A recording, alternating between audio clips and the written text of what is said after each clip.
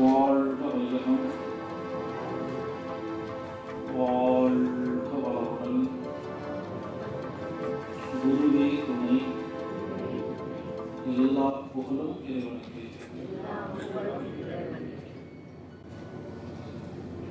Taste therapy சுவை சிகிச்சை.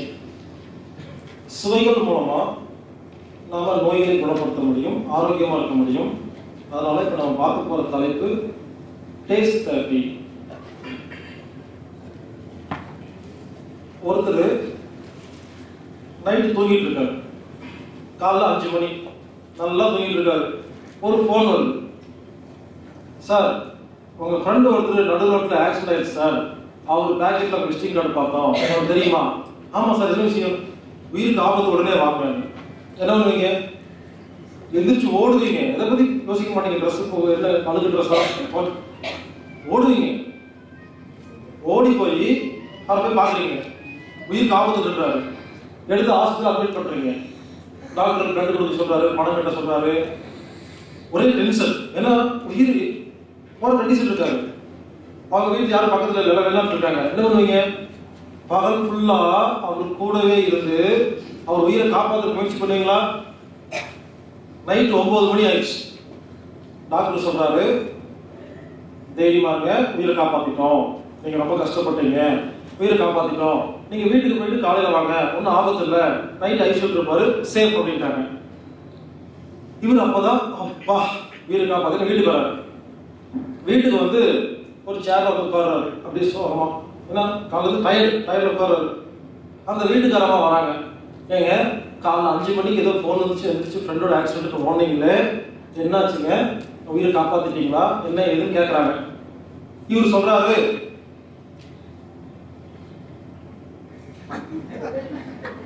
மைக்கு பிரச்சனை இல்லை. அவர் பேசுறாரு வார்த்தை வரமாட்டேங்குது. ஏன் தெரியுங்களா? காலைல அஞ்சு மணிக்கு ஓடுறவரு நைட் ஒன்பது மணி வரைக்கும் சாப்பாட்டை பத்தி கவலைப்படல தண்ணி பத்தி கவலைப்படல. கவனம் பண்ணா ஃப்ரெண்டு உயிர் காப்பாத்திருக்கு வீட்டுக்கு வர வரைக்கும் தெம்புருச்சு. வந்தவொடனே உயிர் காப்பாத்துச்சு இல்லையா புசு நாய் பேச முடியல. இந்த அம்மா நையி நையி நையின்னு பத்து கேள்வி கேட்கறாங்க இவர் சொல்றாரு ஜாலை காட்டுறாரு அந்த அம்மாவும் சரி ஏதோ சாப்பாடு கேட்கறாருன்னு சொல்லி ஜாலை வச்சு கொடுத்துக்கிட்டு சாப்பாடு கொடுத்து கொடுக்குறாங்க. இட்லி ரெண்டு மூணு சட்னி ஒரு சாம்பார் ஊறுகாய் எல்லாம் வைக்கிறாங்க. இவர் இட்லி எடுத்து சாப்பிட்றாரு. சட்னி தொட்டு ஊறுகாய் சுட்டு சாப்பிட்றாரு. ஒரு இட்லி சாப்பிட்டு முடிச்சிட்டாரு. ஒரு இட்லி சாப்பிட்டு முடிச்சோடனே சத்தம் போட்டு பேசுறாரு. ஏய் என்னடி? சாம்பார்ல உப்பு இல்ல? அப்படிங்கிறாரு. இந்த அம்மா போய் கோவம் வந்துருச்சு முதல்ல வந்து பத்து கேள்வி கேட்ட உடனே வாய் திறக்கல. உப்பு இல்லைங்கிறத மட்டும் திட்டுறியா? சத்தம் போட்டு. அப்படின்னா ஏன் தெரியும் சத்தம் போட்டு பேசினாரு? முதல்ல சத்தம் போட்டு பேச முடியல. அந்த இட்லி சயின்டிபிக்கா வாயில ஜீரணமாகி வயிற்றுல ஜீரணமாகி குடல்ல ஜீரணமாகி வில்லி சுரிஞ்சு லிவர் கொடுத்து லிவர் பிளட்ல கலந்து இது சக்கரை சுத்திட்டு போய் இன்சுலின் கிடைக்காம கிடைச்சு அதுக்கப்புறம் செல்லுக்குள்ள போய் மைட்டோ கான்ட்ரியாக்குள்ள போய் எரிஞ்சு வெப்ப சக்தி இயக்க சக்தியா மாறுக்கு ரெண்டரை மணி நேரம் ஆகும் ஆனா ஒரு இட்லி வாயில சாப்பிட்ட அடுத்த நிமிஷம் எப்படி தெம்பு வந்துச்சு சத்தம் மட்டும் பேசினாரு யார் கொடுத்த தெம்பு? அதாவது உணவில் பொருள்கள் மூலமா கிடைக்கிற சக்திக்கு ரெண்டரை மணி நேரம் ஆகும். சுவைகள் மூலமா கிடைக்கிற சக்தி ஒரு செகண்ட் அவ்வளவுதான்.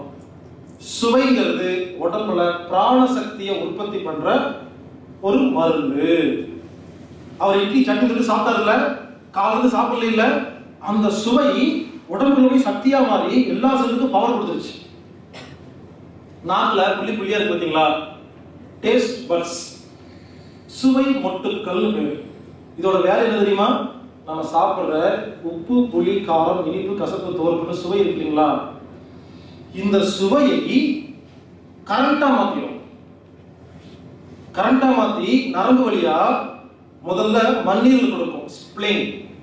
ஸ்ப்ளேன் தான் டேஸ்ட் டிஸ்ட்ரிபியூட்டர் இவர் என்ன பண்ணுவாரு? சுவைகளை எடுத்து எனர்ஜி பிராணசக்தியா மாத்தி எல்லா செல்லும் கொடுத்துருவாருங்க. நம்ம பார்த்தோம் இல்லையா? குளுக்கோஸ் பேக்ரியாஸ் இன்சுலின் மைட்டோகாண்ட்ரியா எல்லாம் போய் பிராணசக்தி கிடைக்குதுன்னு பிராணசக்தி குளுக்கோஸ்ல மட்டும் கிடைக்காது. அது ஒரு வழி. சுவை ஒரு செல்லுக்கு நேரடியாக பிராணசக்தி கொடுத்துரும். இது எப்படி இருக்கு பாருங்க. இதுக்கு ரெண்டாம் மணி நேரம் அவ்வளோ வேலை. இது அப்படி இல்லை. ஒரு செகண்ட் தான். பிராண சக்தி கொடுத்துருதுங்க. நமக்கு தேவை என்ன? பிராண சக்தி தானே. குளுக்கோஸ் கிடைக்கணும் அவசியம் இருக்கா? சுவை நேரடியாக பிராணசக்தியாக மாறி எல்லா சக்திக்கும் சக்தியை கொடுக்குது. ஒரு உணவு எடுத்து வாயில போட்டு சுவையா இருக்கு இல்லையா? வாயில போட்டு மெல்லுங்க. ஒரு சப்பாத்தி எடுத்து வாயில போட்டு மெல்லுங்க. டேஸ்டா இருக்கா? டேஸ்டா இருக்கா? கம்மியாயிட்டே வருதா? காணாம போச்சு டேஸ்ட் சப்புன்னு ஆயிடுச்சா? சுவை எங்க போச்சு? இன்னும் நீங்க முழுங்கல வாயில சுவை எங்க போச்சு? நாக்கு சுவை எடுத்து பிராணனா மாத்தி நரம்பு வழியா எல்லா செல்களுக்கும் சப்ளை பண்ணுது. நம்ம உடம்புக்கு பல வகையில பிராணம் கிடைச்சிட்டு இருக்கு. உணவு ஒரு வழி தூக்கம் ஒரு வழி தண்ணி ஒரு வழி உழைப்பு ஒரு வழி சுவையும் ஒரு வழி. உங்க வீட்டில் கரண்ட் மூலமா பல்ப் எரியுது. யூபிஎஸ் மூலமா கம்ப்யூட்டர் வேலை செய்யுது. சிலிண்டர் மூலமா கேஸ் எரிஞ்சிட்டு இருக்கு. செல்ஃப் பேட்டரி மூலமா ரேடியோ பாடிட்டு இருக்கு. இப்படி ஒவ்வொரு கரண்ட்ல ஒவ்வொரு வேலை செய்யுதா சோலார் மூலமா ஹீட்டர் வேலை செய்யுது. வேற வேற கரண்ட் தானே? கரண்ட் போச்சுன்னா ஹீட்டர் ஆஃப் ஆகுமா? ஆஃப் ஆகுது. அது சோலார் மூலம் வேலை செய்யுது. யூபிஎஸ்ல கரண்ட் தீர்ந்து போனா கம்ப்யூட்டர் மட்டும் தான் ஆஃப் ஆகும். ஃபேன் ஓடிட்டு போய் கரண்ட் மூலம் வேலை செய்யுது. இப்படி யோசிச்சு பாருங்க. நம்ம வீட்டுக்குள்ளேயே வித்தியாசமான வேற வேற எனர்ஜி இருக்கு இல்லையா? அந்த மாதிரி நமது உடம்புல மொத்தம் அஞ்சு விதமான கரண்ட் இருக்கு. ஒன்று இந்த சாப்பிட்ற சாப்பாட்டுக்கு உப்பு புளி காரம் இனிப்பு கசப்பு தோறுப்பு இல்லைங்களா இந்த ஆறு சுவை உடம்புக்குள்ள அஞ்சு கரண்டா மாறும். ஒவ்வொரு சுவை நாக்கில் படும் பொழுது அது ஒரு கரண்டா மாறும். அந்த கரண்ட்டுக்கு ஒரு சில உறுப்புகள் தான் வேலை செய்யும். மற்ற உறுப்புகள் வேலை செய்யாது. உணவுல ஒரு குறிப்பிட்ட பர்சன்டேஜ் சுவை மூலமா பிராணன் பேலன்ஸ் தான் பொருள் மூலமா பிராணன் இனிமேல் அதிகமா பண்ணாதீங்க. உணவு எடுத்து வாயில போடணும். நல்லா மெல்லணும். நல்லா மெல்லிட்டு சுவையை ரசிச்சுட்டு துப்பிட்டு போயிருங்க. உள்ள சாப்பிடவே வேண்டாம். உயிரோடு இருக்கும் ஆரோக்கியமா இருக்கும் அதுக்காக துப்பிட்டு போங்கன்னு சொல்ல மாட்டேன். பயப்படாதீங்க. சாப்பிடலாம். நான் எதுக்கு சொல்றேன்னா சுவைக்கு அவ்வளவு முக்கியத்துவம் கொடுக்குறேன். வெறும் சுவையை மட்டும் ரசிச்சுட்டு சாப்பாட்டை துப்புனா கூட நம்ம உடம்புக்கு பிராணம் கிடைக்குதுன்னு சொல்றேன் நான். அப்போ சுவைகள் மூலமா பிராணம் பத்தி யாருக்குமே தெரியாதனால இது வரைக்கும் யாரும் சுவையை ரசிச்சதே இல்லை. அது மாதிரி சுவை பத்தி யோசிச்சதே இல்லை. ஏன் சொத்தை பத்தி யோசிச்சுட்டு அப்புறம் சுவை பத்தி யோசிக்கிறது?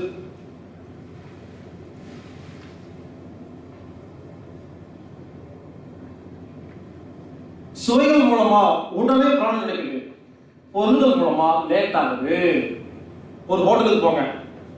ஹோட்டலை பொறுத்த வரைக்கும் அஜினமோட்டா சோடா இதெல்லாம் போட்டு எப்படி டேஸ்டா சமைக்கிறதுன்னு யோசிப்பாங்களே தவிர சத்து பொருளை யோசிக்க மாட்டாங்க. பாத்துக்கீங்களா ஹோட்டலில் போய் சாப்பிட்டு பாருங்க.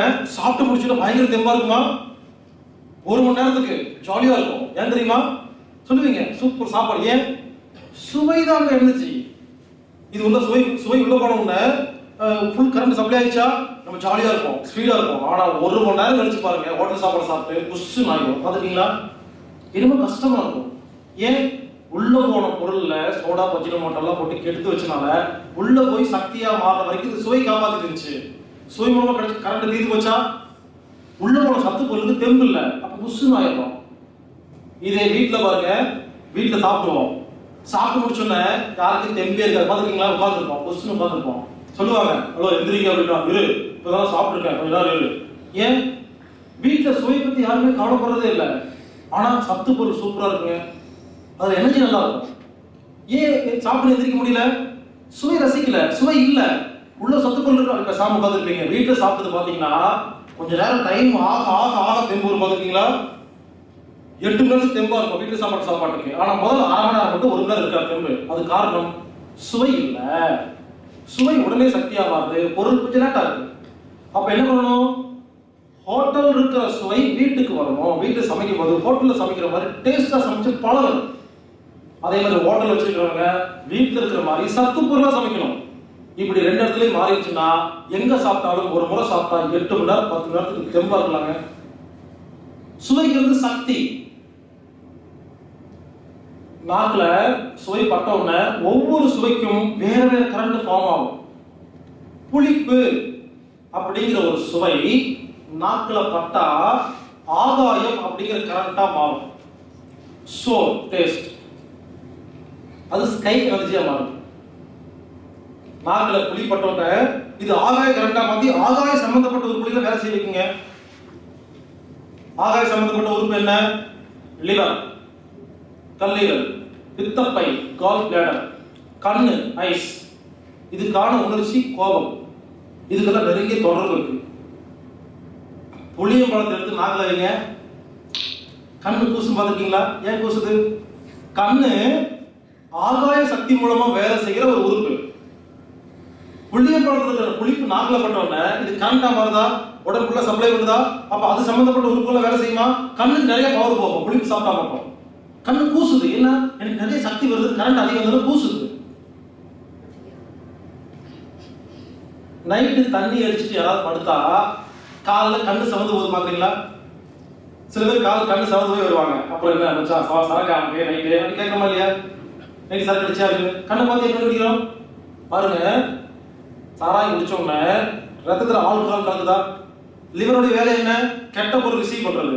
நைட்டு ஃபுல்லாக லிவர் என்ன பண்ணுவோம் இந்த ஆல்கஹாலை பிரி பிரி பிரிக்கும் நாம அறிவு இல்லாமல் குடிச்சிட்டு படுத்தோம் லிவர் அறிவோடு வேலை செய்யும். திட்டு உங்களை. இந்த கேரக்டர் போய் அடிச்சுட்டு தூங்குறீங்க. என்ன நிம்மதியா இருக்க விட மாட்டியான்னு லிவர் உங்களை திட்டிட்டு நைட்டு ஃபுல்லாக உட்காந்து அந்த ஆல்கஹாலை பிரிக்கும் அப்போ லிவருடைய எனர்ஜி என்ன? ஆகாய சக்தி.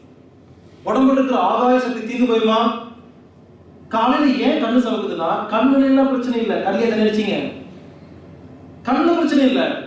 காலை எந்திரிச்சு உடனே கண்ணு ஏன் சமக்குதுன்னா கண்ணுக்கு தேவையான உடம்புல இருக்கிற ஆகாய சக்தி இல்லாதனால அது எனர்ஜி இல்லாம சவந்து போச்சு. தண்ணி அடிச்சா சொல்றாங்க இல்லையா லிவர் கெட்டு போய் கோபம் கோபமா பேசுறாருன்னு கேக்குறாங்கல்ல. தண்ணி அடிச்சு லிவர் கெட்டு போனா கோபம் கோபமா பேசுவீங்க. இன்னொன்னு அடிக்கடி கோவப்பட்டா லிவர் கெட்டு போயிடும். இப்படி லிங்க் இருக்கு. லிவர் கெட்டு போனா கோவம் வரும் கோவம் வந்தா லிவர் கெட்டு போகும். புளிப்புக்கும் ஆகாயத்துக்கும் கல்லீரலுக்கும் பித்தப்பைக்கும் கண்ணுக்கும் கோபத்துக்கும் சம்பந்தம் இருக்கு. இது எல்லாம் மொத்தமாக தான் சரி பண்ணணும். தனித்தனியே சரி பண்ண முடியாது. கர்ப்ப காலத்துல பெண்கள் மாங்காய் சாப்பிடுறாங்கல்ல. ஏன் தெரியுமா? காலேஜுக்கு போகும்போது மாங்காய் விரும்பி சாப்பிட்றாங்களா? கிடையாது பத்து குழந்தை பெத்துக்கு அப்புறம் விரும்பி சாப்பிட்றாங்களா? பாருங்க இந்த கர்ப்ப காலத்துல மட்டும்தான் அப்படி மாங்காய் விரும்பி சாப்பிடுவாங்க. ஏன் தெரியுமா? மாங்காய் புளிப்பு இருக்கு. லிவர் தான் கருப்பையில் அந்த குழந்தைக்கு கண்ணு காது மூக்கு கிட்னி கணையம் எல்லாம் செஞ்சு மொத்த குழந்தைய வெளியே தள்ளுற வேலை லிவருக்கு ரொம்ப முக்கியமானது. கர்ப்பமான காலத்துலேருந்து குழந்தை பெற்றுக்கிற காலம் வரைக்கும் ஒவ்வொரு செகண்டும் லிவருக்கு ஓவர் டைம் ஒர்க்குங்க நீங்க தூங்குவீங்க லிவர் தூங்காது. அப்ப லிவர் எனக்கு ஆன்டிபயாட்டிக் கொடு எனக்கு வந்து மருந்து கொடு மாத்திரை கொடு நான் கழிச்சு புளிப்பு கொடுன்னு கேட்குது லிவருக்கு வேலை கொடுத்தா புளிப்பு சக்தி தாங்க சக்தி. அதோட எனர்ஜி புளிப்பு தான் ஏன் புளிப்பு விரும்பி விரும்பி சாப்பிடுறாங்க? அப்ப லிவருக்கு எனர்ஜி கம்மியா இருக்கிறதுனால அது கேக்குது. புளிப்பு சக்தி கேக்குது. இன்னொரு விஷயங்க கண்ணுக்கும் லிவருக்கும் சம்மந்தம் இருக்கு. கண்ணு எந்த மாதிரி வடிவத்தில் இருக்கோ அதே மாதிரி தான் லிவர் இருக்கும். ஸ்கேன் பண்ணி பார்த்துக்கோங்க. லிவருடைய படத்தையும் கண்ணோட படத்தையும் பார்க்க ஒரே மாதிரி இருக்கும். கொஞ்சம் பெருசு சின்னதா இருக்கும். நான் சொல்றது அவுட்டர் லைன் போட்டு பார்த்தா அந்த வடிவம் ஷேப் ஒரே மாதிரி இருக்கும். கர்ப்ப காலத்துல பெண்ணுடைய கர்ப்பப்பையில கண்ணு உருவாகும் பொழுதுதான் புளிப்பு அதிகமா கேட்கும். கேட்டு பாருங்க. கண்ணுக்கும் புளிப்புக்கும் லிவருக்கும் அவ்வளவு சம்மந்தம் இருக்கு. கர்ப்ப காலத்துல பெண்ணுக்கு புளிப்பு கொடுக்காம இருந்து பாருங்க குழந்தை சிக்கலோட போகும். புளிப்பு அதிகமா கொடுத்தாலும் நோய் வரும். கம்மியா கொடுத்தாலும் நோய் வரும். அந்த நாட்டு எவ்வளவு கேட்குதோ கரெக்டா கொடுத்து பாருங்க குழந்தை சூப்பரா வரும். புளிப்பு உடம்புக்கு நல்லது.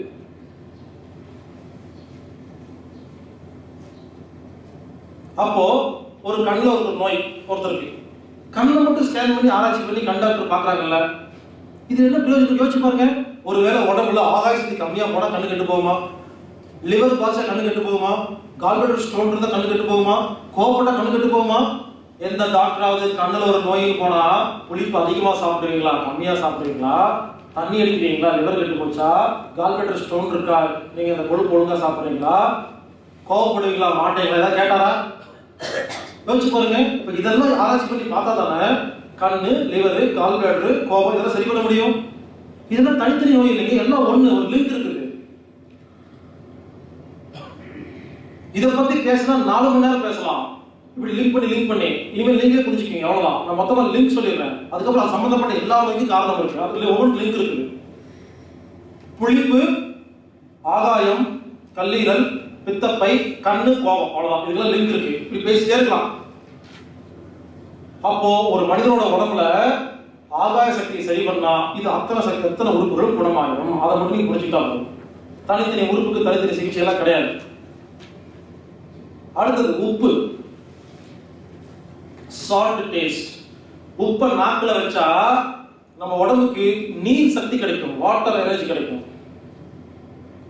வாட்டர் எனர்ஜி மூலமா வேலை செய்யற உறுப்புகள் கிட்னி சிறுநீரகம் மூத்திரப்பை யூரினரி பிளேடர் காது இயர்ஸ் பயம். அவங்கவங்க காதும் கிட்னி ஒரே மாதிரி ஷேப்ல இருக்கும். செக் பண்ணி பாருங்க. உப்பு தின்னவன் தண்ணி குடிப்பான்னு சொல்றாங்க இல்லைங்களா? ஏன்? உப்பை நாக்கில் வச்சு பாருங்க. உப்பு என்ன பண்ணும்? நாக்கில் பட்டு நீர் கரண்டா மாறி உடம்புல சப்ளை ஆயிருமா? அப்ப நீர் கரண்ட் மூலமா வேலை செய்யற கிட்னி என்ன பண்ணும் அது வேலை செய்யுமா? அது எனர்ஜி கிடைச்சிருமா? கிட்னியோட வேலை என்ன? உடம்புல இருக்கிற தண்ணி எல்லாம் எடுத்து நல்ல தண்ணியை ரத்தத்துல கலந்து ரத்தத்தில் இருக்கிற கெட்ட பொருளை எல்லாம் எடுத்து கெட்ட தண்ணி எடுத்து மூத்திரம் அனுப்புறதான வேலை? உப்புதுன்னா ஏன் தண்ணி குடிக்கிறோம்? உப்புதுன்னா கிட்னி வேலை செய்யும். கிட்னி வேலை செஞ்சு உடம்புல தண்ணி தீர்ந்து போயிடும். அப்போ தாகம் எடுக்கும். எவ்வளவு உப்பு சாப்பிட்றீங்களோ அவ்வளவு தண்ணி குடிச்சு தான் ஆகணும். ஏன்? அவ்வளவு தண்ணி கிட்னி வெளியே வச்சு விட்டுரும். இதான் கான்செப்ட் உப்புக்கு கிட்னிக்கு அவ்வளவு சம்மந்தம் இருக்கு. பயத்துக்கும் கிட்னிக்கும் உப்புக்கும் சம்மந்தம் இருக்கு. சொல்றாங்க இல்லையா? பயத்துல ஒண்ணுக்கு போயிட்டான். அப்படிங்கிறாங்க இல்லையா? நம்மளை பார்த்தா பையன் டெரர் நான் டெரர் என்ன பார்த்தா அந்த பையன் பயத்துல ஒண்ணுக்கே போயிடும் அப்படின்னு சொல்றாங்களா? நம்மளே சின்ன வயசுல சில பேர் அப்பா அம்மா அடிக்கும் போது பயத்துல ஒண்ணுக்கு போயிடும் இல்லையா? ஏன்? பயம் தான் ஒண்ணுக்கு போகுது? பயங்கிற உணர்ச்சி உடம்புல இருக்கிற நீர் சக்தியை சாப்பிட்டு போயிருங்க. ஒவ்வொரு உணர்ச்சிக்கும் நமது உடம்புல ஒரு கரண்ட் செலவாகும். பயம் மனசுல வந்துச்சுன்னா உடம்புல நீர் சத்து காணாம போகும். பயம் சாப்பிட்டுரும். அப்ப என்ன ஆகும்? உடம்புல நீர் சத்து வேலை இருக்காதா? மூத்திரப்பை கிட்னி இருக்கு இல்லையா? யூரினரி பிளாடர் மூத்திரத்தை கூட பிடிச்சி வைக்க முடியாம கீழே விட்டுருது அவ்வளவு சக்தி கம்மியாக இருக்கும்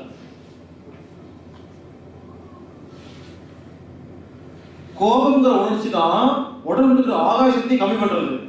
அடிக்கடி கோபப்பட்டனாவும் உடம்புல ஆகாய சக்தி கம்மியாகி போய் லிவர் கெட்டு போயிடும் கால்கட்டு ஸ்டோன் வந்து கண்ணு கட்டு போகும். உணர்ச்சிக்கும் உறுப்புக்கும் ஒரு சக்திக்கும் சம்மந்தம் இருக்குங்க. பயம் வந்தா கிட்னி ஃபெயிலியர் ஆகும். சில குழந்தைகள் பெட்டை யூரின் போவாங்க பார்த்துருக்கீங்களா? அடிக்கடி சொல்லுவாங்க இந்த குழந்தை உயிரும் போயிட்டே இருக்குங்க. என்ன காரணம்? அந்த குழந்தைக்கு ஆள் மனதில் ஒரு பயம் இருக்கும். அது தெரியாமனாலும் நைட்டு யூரின் போயிட்டு இருக்காது. பயந்து பயந்து போயிட்டு இருக்கும். செக் பண்ணி பாருங்க. உங்களுக்கு பார்த்தா தெரியாது. குழந்தை பார்த்தா தெரியாது. அது ஸ்கூலுக்கு போகும்போது ஸ்கூல்ல டீச்சர் அடிச்சிருப்பாங்க. டீச்சர் பார்த்து பயப்பட்டிருப்போம். இல்ல பக்கத்துல கூட படிக்கிற பசங்க ஏதாவது மிரட்டி இருப்பாங்க. இல்ல இருட்டில் எங்காவது போய் ஏதாவது பார்த்து பயந்துருக்கும் பூச்சி பார்த்து பயந்துருக்கும் எதையாவது பார்த்து பயந்துருக்குங்க. அந்த மனசுல இருக்கிற பயத்தை எடுத்தா மட்டும்தான் அந்த நோய் குணமாகும். அந்த குழந்தைய எங்க வேணா கூட்டிட்டு போங்க. சரியா போகாது. இந்த விபூதி போடுறவங்க குறி சொல்றவங்க வேப்பம் எடுத்து அடிப்பாங்க இல்லையா? அந்த மாதிரி வை வைத்துட்டு இருப்பாங்க. போய் கூட்டிட்டு போய் காமிங்க. என்ன பண்ணுவாங்க? என்ன யூரின் போதா குழந்தை? இதுக்கு எழுதிமா பேரு கேட்பாங்க. என்ன பேரு? பயந்த கோளாறுன்னு பேரு அந்த பேரு. அந்த நோய்க்கு பேரு பயந்த கோளாறு. பயந்த கோளாறா? ஆடு போட்டு விபூதி போட்டு பண்ணணும் அந்த குழந்தைக்கு என்ன அஹ், பயம் பயம் சரி பண்ணி எடுத்து விட்டுருவாங்க. அப்புறம் யூரின் போகாது. அந்த குழந்தை எதை பார்த்து பயப்பட்டிருக்குன்னு யோசிச்சு அதை சரி பண்ணணும். அது எதை பார்த்து பயந்துருக்கோம்? நீங்க காலங்காத்தால ஸ்கூலுக்கு எழுப்புறதுக்காக குழந்தை தூங்கி குழந்தை தூங்கிட்டு இருக்கும்ல அதை போய் எழுதிருப்பீங்க மூஞ்சி பக்கத்தில் வச்சுட்டு. அந்த குழந்தை மூஞ்சி பார்த்து பயப்பட்டுருக்கோம். பொதுவாக அப்படி கூட இருக்கலாம். அப்படின்னு பயமுறுத்தாதீங்க குழந்தை பாவம். மனதில் இருக்கும் பயம் தான் மூத்திரம் போக வைக்குது. உப்புக்கும் நீருக்கும் கிட்னிக்கும் யூரினரி பிளடருக்கும் காதுக்கும் பயத்துக்கும் சம்பந்தம் இருக்கு. யாருடைய கிட்னி அதிக வேலை செய்யுதோ உப்பு கேட்கும் நாக்கு கேட்கும். யார் நிறைய தண்ணி பாருங்க உப்பு தின்னா தண்ணி குடிப்போம் தண்ணி குடிச்சா உப்பு கேட்கும். மாத்திக்கலாம். யார் நிறைய தண்ணி குடிச்சிட்டே இருக்கீங்களோ உங்களுக்கு உப்பு கொஞ்சம் ஜாஸ்தியா இருந்தா சாப்பிட பிடிக்கும். ஏன் தெரியுமா? உள்ள போன தண்ணியை வெளியே உப்பு கேட்குங்க. உப்பு உள்ள கூட தண்ணி கேட்கும் தண்ணி உள்ள கூட உப்பு கேட்கும். உப்பு மனித உடம்புக்கு தேவைங்க. உப்பு இல்லாட்டி கிட்னி வேலை செய்யாதுங்க. ஒரு சில பேர் நிறைய தண்ணி குடிச்சிட்டே இருப்பாங்க. உப்பு கொஞ்சம் ஜாஸ்தியாக சாப்பிடுவாங்களா? தேவைப்படுமா? என்ன அவங்க வீட்டில் எல்லாரும் சாப்பிடுவாங்க. இவங்க மட்டும் உப்பு பத்தலையே அப்படிம்பாங்க. எல்லாரும் சொல்ல கரெக்டாக இருக்கே அப்படிம்பாங்க. அம்மா சாப்பிட்டு பார்த்துட்டு அந்த ஒய்ஃப் ஏங்க கரெக்டாக தான் இருக்கு. அப்படி விருந்துட்டு இல்லைம்மா பார்த்துட்டு போட்டு சாப்பிடுவாரு. எல்லாம் ஆச்சரியம் பார்ப்பாங்க. இவர் உப்பு அதிகமாக சாப்பிட்றாருன்னு. அதிகமா சாப்பிடல. அவருக்கு தேவைப்படுது சாப்பிட்றாரு. உங்களுக்கு என்ன? நீங்க உப்பு எடுத்து வாயில போட்டு பார்த்துட்டு ஒழுங்கா இருந்தா அது உங்களுக்கு ஒழுங்கா இருக்குது. எனக்கு கம்மியா இருக்கும் அதிகமா இருக்கும். ஒவ்வொருடைய நாக்கும் வேற வேற டேஸ்ட்டுங்க வீட்டுல பொம்பளை நினைச்சுக்கிறாங்க. அவங்க அவங்க அவங்க வாயில் மட்டும் ஒழுங்கா சமைச்சு வச்சிருவாங்க. வேற யாரும் சாப்பிட மாட்டாங்க. அது அவங்களுக்கு மட்டும் தான் பிடிக்கும். நீங்க மட்டும் தான் சாப்பிடணும். ஒவ்வொருத்தருக்கும் ஒரு டேஸ்ட் அதான் அவங்களுக்கு பிடிக்கும். இப்படி உப்பு அதிகமா சாப்பிட்டே இருப்பாரா? திடீர்னு ஒரு நாள் என்ன ஆகும் கிட்னில ஏதாவது ப்ராப்ளம் சொல்லி டாக்டர் சொல்லுவாரு. உப்பு அதிகமா சாப்பிடுறீங்களா அப்படிம்பாரு. ஆமா டாக்டர் இவர் அப்படிதான் டாக்டர் போட்டு போட்டு திங்களா டாக்டர் அப்படின்னு இனிமேல் உப்பு சாப்பிடாங்க சொல்லிடுவாரு. என்ன ஆகும் உப்பு சாப்பிடாம இருந்தா இன்னும் சீக்கிரமா கிட்னி ஃபெயிலியர் ஆகும் உப்பு கிட்னியை காப்பாத்துறது உப்பு சாப்பிட்டு இருக்கீங்க நிறுத்தின என்ன ஆகும் உப்பு தப்புன்னு எழுதுறாங்க நிறைய கட்டுரைகள். ஒத்துக்கவே மாட்டேன். உப்பு உடம்புக்கு நல்லதுங்க. உப்பு இல்லாம யாரும் உயிரோட வாழ முடியாது. உடம்புக்கு உப்பு தேவை. ஆஸ்பத்திரியில யாராவது எமர்ஜென்சியில் யாராவது படுத்திருக்கும் போது கூட இருந்து பாத்தீங்கன்னா தெரியும். பத்து நாள் வெறும் குளுக்கோஸ் டப்பா மட்டும் போயிட்டு இருக்கு யாருக்காவது. யாராவது கூட இருக்கீங்களா உள்ள போயிட்டு இருக்கோம். கூட உட்காந்து பாருங்க. சாப்பிட மாட்டாங்க. தண்ணி குடிக்க மாட்டாங்க. குளுக்கோஸ் டப்பா மட்டும் பத்து நாள் போயிட்டு இருக்கோம். ஏழாவது நாள் எட்டாவது நாள் அந்த பேஷண்ட் உப்பு வேணும் உப்பு வேணும்னு கேட்பாங்க. வாய் தொடங்க நான் இருந்துருக்கேங்க எங்க மாமா அந்த மாதிரி கோமா போய் படுத்துட்டாரு. எந்திரிச்சா கண்ணு முடிக்கிறாரு யாரு இருந்தாலும் பேரே தெரியல. நீ யாருன்னு கேட்கிறாரு யாரை பத்தி பேர் தெரியல. ஆனா ஏழாவது நாள் உப்பு வேணுன்றத மட்டும் வாய் சொல்லுது அது மட்டும் எப்படி சொல்லுச்சு? ஏழு நாள் குளுக்கோஸ் டப்பா மட்டும் உள்ள போயிட்டு இருந்தா கிட்னிக்கு மட்டும் தானே வேலை? வேற எந்த உறுப்புக்கு வேலை இல்லை வயிற்றுக்கு வேலை இல்லை. அப்ப என்ன ஆட்டோமேட்டிக்கா உப்பு நாக்கு கேட்கும். ஆனா டாக்டர் சொல்லிட்டாரு? பிபி பேஷண்ட் உப்பு சாப்பிட சொல்றாரு. அந்த அத்தை என்ன பண்றாங்க? கொடுக்கவே மாட்டேங்கிறாங்க. அத்தை ஓரம் படுத்துட்டாங்க. அவர் கெஞ்சுறாரு. நைட்டு ஃபுல்லா வாய் திறந்தா உப்புங்கிற வார்த்தை எதுவும் வரலைங்க. கொஞ்சம் உப்பு போடு. அது கேட்டுட்டே இருக்காரு. நான் கொஞ்சம் கொடுத்தா சந்தோஷமா இருப்பாரு. எங்க அத்தை பார்த்து திட்டுவாங்க. கேட்டு பாருங்க. உப்பு கேட்பாங்க. என்ன உப்பு சாப்பிட்டாதான் கிட்னிக்கு எனர்ஜி இல்லைன்னா குளுக்கோஸ் டப்பா கிட்னி பிரிக்காது. ஸ்டாப் பண்ணிடும் இது புரியாம நிறைய பேருக்கு உப்பு கொடுக்காம குழம்பு பண்ணிட்டு இருக்காங்க. உப்பு சாப்பிட்டா பிபி அதிகமாகும். சாப்பிட வேண்டாம் சொல்லி வச்சிருக்காங்க இல்லையா? நிறைய பேர் சாப்பிடாம இருக்கீங்கல்ல? சாப்பிடாவே இருங்க. கூடி சீக்கிரம் உங்களுக்கு எல்லாம் மிகப்பெரிய நோய் வரும். உப்பு சாப்பிட்டா ஏன் பிபி அதிகமாகுது? நல்லா கேட்டுருங்க உப்பு சாப்பிட்டா கிட்னி வேலை செய்யுமா? கிட்னி என்ன வேலை பண்ணும் உடம்புல இருக்கிற தண்ணி எல்லாம் எடுத்து ரத்தத்தில் இருக்கிற கெட்ட பொருள் எடுத்து மூத்திரம் அனுப்புமா உங்க ரத்தம் கெட்டியா சாக்கடமா இருக்கு. குப்பையா இருக்கு. குப்படு நாங்க வைக்கிறீங்க. கிட்னி என்ன பண்ணுது? கெட்டு போன ரத்தத்தை சுத்தம் பண்ணுதா? உப்பு சாப்பிட்டா? ரத்தத்தில் இருக்கிற கெட்ட பொருள் எல்லாம் மூத்திரப்பைக்கு போச்சுன்னா ரத்தம் நீர்த்து போகுமா? அப்ப கொஞ்சம் பிபி அதிகமாமா இது நல்லது தானே உப்பு சாப்பிட்டா ரத்தம் சுத்தமாக. யாரும் உப்பு சாப்பிடாம இருக்கிறீங்களோ உங்க ரத்தம் சுத்தமே ஆக மாட்டேங்குது. சாக்கடமா இருக்குது. கிட்னிக்கு எனர்ஜி கிடைக்கல. மூத்திரப்பைக்கு எனர்ஜி கிடைக்கல. கிட்னி ஃபெயிலியர் ஆகும். மூத்திரப்பையில ப்ராப்ளம் வரும். எல்லா பிரச்சனையும் வரும். கேவலமா இருக்குங்க இந்த விஷயம். உப்பு சாப்பிடாதீங்க. ஏன் உப்பு மனித உடம்புக்கு உப்பு அத்தியாவசியம். உப்பு இல்லாத பண்டம் குப்பையிலேன்னு சொல்றாங்கல்ல. நீங்க என்ன குப்பையா? உப்பு இல்லாம சாப்பிட்டு பார்த்துக்கீங்க என்னைக்காவது உப்பு சாப்பிடாம இருங்க. ஒரு நாள் என்ன தெரியுமா? லோ பிபில மயக்கம் போட்டுருவீங்க. உப்பு சாப்பிடாம இருந்தா. என்ன ஆகும்? ஆஸ்பத்திரி கூட்டிட்டு போவாங்க. போய் ஆஸ்பத்திரி படுத்துருப்பீங்க. ஏழு நாள் அட்மிட் இருப்பீங்க. ஒரு லட்சம் ரூபா செலவாயிருக்கும். வீட்டுக்கு வருவீங்க. வந்து கேட்பாங்க. அப்புறம் நல்லா இருக்க உடம்பு? சொந்தக்காரங்க வந்து. ஏன் பரவாயில்ல. ஆஸ்பத்திரிக்கு போயிருந்தேன். ஏழு நாள் படுத்திருந்தேன். என்னமோ டப்பா டப்பா மாட்டினாங்க. கொஞ்சம் பரவாயில்ல. எழுதிக்க மாட்டிருக்காங்க. லோ பிபில யாராவது ரொம்ப வருஷம் உப்பு சாப்பிடாம என்னைக்காவது மயக்கம் போட்டு விழுந்து ஆஸ்பத்திரிக்கு போனீங்கன்னா உங்களுக்கு பாட்டுறது டப்பாக்கு பேரு எல்லாரும் வெள்ளை கலர் டப்பா மாட்டினா அது குளுக்கோஸ் டப்பான்னே நினைச்சிட்டு இருக்கீங்க. அதுக்கு பேரு சோடியம் குளோரைடு. தமிழ்ல சொன்னா உப்பு. ஏழு பாட்டில் உப்பு போட்டு அமைச்சுட்டு இருப்பாங்க. வந்து கலந்து. பரவாயில்ல கொஞ்சம் நல்லா இருக்குது. என்ன? உப்பு போட்டு அமைச்சுட்டு இருக்காங்க அவங்கள ஒழுங்கா சோப்பு உப்பு போட்டு சாப்பிட்டாங்க போக வேண்டிய வேலையை வந்திருக்காரு யோசிச்சு பாருங்க. அப்போ ஆஸ்பத்திரி இருக்கும்போது மட்டும் உப்பு கொண்டு கொட்டு கொண்டு கொட்டு வாங்கலாமா குளுக்கோஸ் எடுத்து ஊத்து ஊத்து ஊத்து வாங்கலாமா நீங்களா சக்கரை பண்ணா நோயாமா? நீங்களா உப்பு சாப்பிட்டா நோயாமா? அவங்க போடணும். முதல்ல பரவாயில்லைங்க. இந்தியால வெளிநாட்டு உப்பு போட்டிருந்தாங்க உப்புல கூட வெளிநாட்டு உப்பு இப்பதான் கொஞ்சம் டெவலப் ஆகி சோடியம் குளோரைடு ஐபி போடுறாங்க. ஐபி என்ன? இந்தியன் ஃபார்மா இதுக்கு முன்னால அமெரிக்கன் ஃபார்மா பாருங்க உப்பு கூட வெளிநாட்டுல வந்து போட்டு போவாங்க. நம்ம உப்பு சாப்பிடக்கூடாது. பிங்க் சால்ட்னு ஏதோ சொல்றாங்க? பிங்க் சால்ட்டுங்களா ஹிமாலயன் பிங்க் கேள்விப்பட்டேன் இல்ல அதெல்லாம் தேவையில்லைங்க. அதை சொல்றேன். அதாவது இந்த ராக் சால்ட் இந்து உப்பு இப்படிலாம் சொல்லுவாங்க. அதெல்லாம் தேவையில்லை. அது உப்புன்னா கல்லுக்கு அவ்வளோதாங்க உப்புக்கு நிகர் வேற ஒண்ணுமே கிடையாது. இந்த ராக் சால்ட் பிங்க் சால்ட் என்னன்னா பூமிக்கு அடியில பாறையில சில பாறையில வந்து உப்பு நிறைய இருக்கும். அதை உடைச்சு எடுத்து பொடி பண்ணி கொடுப்பாங்க. இது உடம்புக்கு நல்லது கிடையாது. ஏன் தெரியுங்களா? ஒவ்வொரு பாறையிலையும் வேற வேற உப்பு இருக்கும். தெரியாது எந்த ஊர்ல எப்ப எடுத்த என்ன இருக்குதுன்னு தெரியாது. அவங்க என்ன கம்பெனி யார் உடைச்சு போட்டா ஒன்று எடுக்க எடுக்க மாறிட்டே இருக்கும். லேயர் லேயர் மாறும். ஆனா கல்லுப்புனா ஒரே பிராண்டு தான் இன்டர்நேஷனல் லெவல்ல கடல் தண்ணி எடுத்து தேக்கி வச்சா கல்லுப்பு இது இன்டர்நேஷனல்ல ஒரே உப்பு தான். வேற ஒன்றும் மாத்த கலப்படம் பண்ண முடியாது. பட் இந்த மற்ற டப்பா உப்பு அது எல்லாமே என்னன்னா அது பாறை உப்பு. ஒரு சில நேரத்தில் டேஞ்சரா போகலாம் தெரியாது. என்னைக்கு பேக் பண்ணாங்க என்னைக்கு எடுத்தாங்க நிலத்துக்கு கீழே பிராணம் இருந்துச்சா இல்லையா? அதுல என்ன கெமிக்கல் இருக்கு ஒன்றும் தெரியாது. ஒரு சின்ன சாம்பிள் மட்டும் ஆராய்ச்சி பண்ணிட்டு இந்த இடத்துல வெட்டி வெட்டி வெட்டி வெட்டி எடுத்து எடுத்து பேக் பண்ணி அனுப்பிச்சிட்டே இருப்பாங்க. என்னைக்காவது யாருக்காவது உயிர் போகும்போது தெரியும் அது கெமிக்கல் ஏதோ விஷம் இருக்குன்னு சொல்ல போறாங்க. ஸோ தொட வேண்டாம். கல்லுப்பு கல்லுப்பு அவ்வளவுதான். அப்ப நீங்க புரிஞ்சுக்கங்க உப்பு உடம்புக்கு நல்லது தேவை அத்தியாவசியம். உப்பு சாப்பிடாம இருந்தாலும் நோய் அதிகமாக சாப்பிட்டாலும் நோய். எவ்வளவு சாப்பிடணும்? உங்க நாக்கு எவ்வளவு கேட்குதோ அவ்வளவு சாப்பிடணும் அவ்வளவுதாங்க. அது அவங்களுக்கு மாறிட்டே இருக்கும். நீங்க செக் பண்ணி பாருங்க. நீங்க எடுத்து உணவு சாப்பிடுங்க.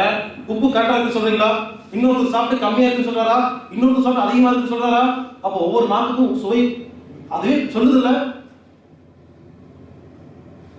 அதனால பிபி பேஷண்ட் தயவு செய்து யாரும் உப்பு சாப்பிடாதீங்க. சாப்பிடாம இருங்க. அப்பதான் சோடியம் குளோரைடு டப்பா வியாபாரம் நடக்கும். உப்பு போட்டு சாப்பிடுங்க. இது என்ன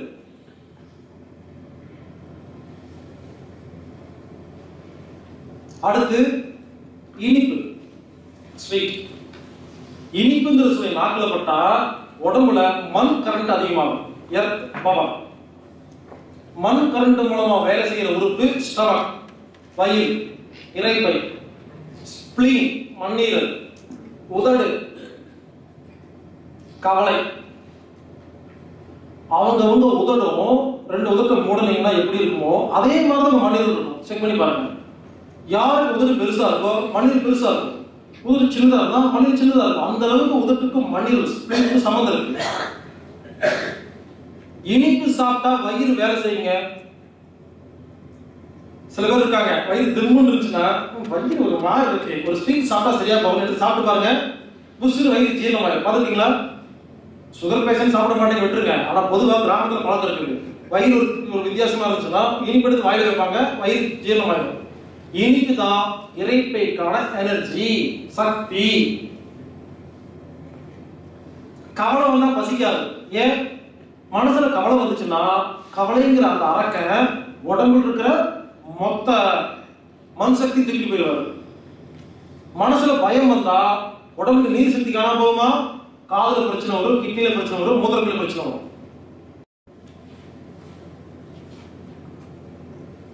பயம் நீர் சக்தி தூக்கிட்டு போயிடும். கவலை மண் சக்தி தூக்கிட்டு போயிடும். கவலைப்படும் போது பாருங்க யாரும் கவலையா இருப்பீங்க. சாப்பிடவே மாட்டீங்க. சொல்லுவீங்க அப்படியே கவலையா பார்த்துருப்பீங்க. குழந்தை ஸ்கூலுக்கு போன குழந்தை திடீர்னு காணாம போச்சு. எங்க போச்சு இல்ல போலீஸ் போய் பார்த்துட்டீங்க கிடைக்கல. எப்படி இருக்கும்? அப்படியே உட்காந்துருப்பீங்க என்னாச்சு? ஒரே கவலையா இருக்கு. பையன் எங்க போனாலும் தெரியல. ஸ்கூல்ல போய் பார்த்துட்டு கிடைக்கல. அப்படிங்கும் போது சாப்பிடுவீங்களா ஏன் சாப்பிட மாட்டீங்க? கவலை வந்தா வயிறு வேலை செய்யாதுங்க. உடம்புல இருக்கிற மொத்த மண் கரண்டி கவலை திருந்து போயிடும். பசிக்காது. நீங்க செக் பண்ணி பாருங்க. ஒரு சின்ன விஷயம். உங்க பையன் வந்து ஊருக்குள்ளே போயிருப்பாரு. ஊருக்கு போய் ஃபோன் பண்ணுறது சொல்லியிருப்பாரு. ஃபோன் பண்ணிருக்க மாட்டாரு. ஃப்ளைட்டு போய் சேர்ந்ததா இல்லையா இறங்கினாரா இல்லையா என்னாச்சு? யூஎஸ்ல போய் சேர்ந்துட்டாரு அப்படின்னு சொல்லிட்டு உட்காந்து யோசிச்சுட்டு இருப்பீங்க அதுக்கு ஒன்றும் பயணம் என்ன ஆகும்? சாப்பிட மாட்டீங்க. அங்க போய் ஒரே போனாமா நம்ம வந்துட்டோமா அப்படின்னு சொல்லி அடுத்த நிமிஷம் பாருங்க கூகுள் பசிக்கு பார்த்துருக்கீங்களா? போய் நல்லா நல்லா சாப்பிடுவோம். கவலை வந்தா பசிக்காதுங்க. அந்த கவலை தீர்ந்து போனா அடுத்த பசி ஏற்படும். செக் பண்ணி பாருங்க நல்லா பசிக்கும். மனதில் நிம்மதி இருந்தால் மட்டும் தாங்க பசிக்கும். கவலை இருந்தால் பசிக்காதுங்க ஏன்னா மொத்த கவலையும் அந்த மொத்த மண் சக்தி சாப்பிட்டு போயிடும். யாராவது கவலையா இருக்கும் உட்கார்ந்து இருப்பாங்க. நீங்க என்ன பண்ணுவீங்க? கவலையா சாப்பிட்டு சாப்பிட்டு கம்பல் பண்ணுவீங்களா? அவங்க சாப்பிட மாட்டாங்க. இப்படி கம்பல் பண்ணி சாப்பிட்டாலும் நீ அப்படின்னு நாம அக்கறையோட என்ன பண்ணுவோம் கவலையா இருக்கிற ஒருத்தருக்கு சோத்தை கொடுத்துருவோம். அவங்க நீ திட்டுறீங்க வழி இல்லாமல் திம்பாங்க. என்ன தெரியுமா? கவலை இன்னும் அதிகமாயிடும். ஏற்கனவே வயதில் தெம்புல சாப்பாடு உள்ள போட்டா என்ன ஆகும்? ஜீரணமாகாது இன்னொன்று இந்த சாப்பாடு போய் மண் சக்தியை கொடுங்குமா கவலை கொடுங்குமா ரெண்டு சண்டை வந்துடும் கவலை ரொம்ப அதிகமாயிடும். கவலையா இருக்கும்போது சாப்பிடக்கூடாது.